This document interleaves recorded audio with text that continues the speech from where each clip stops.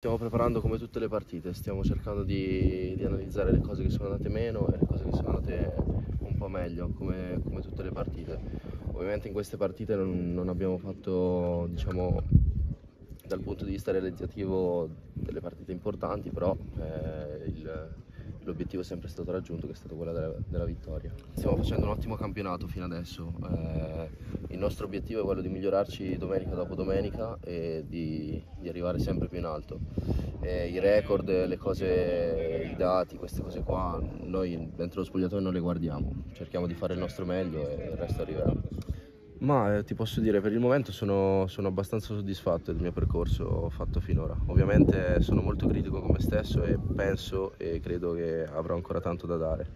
No, la testa assolutamente sulla Turris perché eh, non puoi nel calcio, come tutte le altre cose, pensare eh, molto lontano. Quindi l'importante è prepararsi bene per la Turris e poi col Catanzaro sarà una bellissima partita e ci penseremo dopo.